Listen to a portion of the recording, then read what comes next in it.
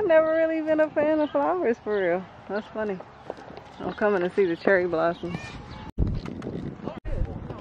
done that before.